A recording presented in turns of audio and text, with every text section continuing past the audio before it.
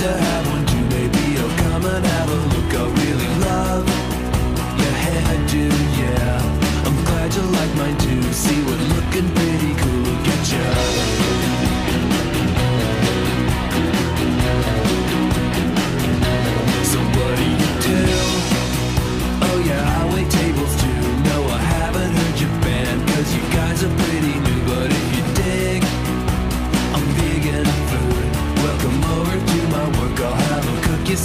that you really love.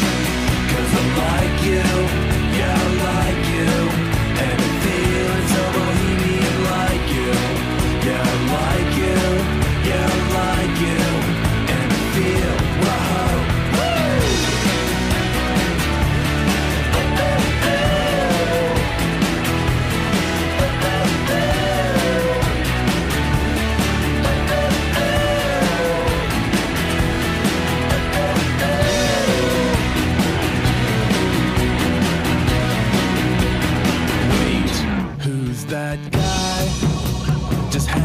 Japan.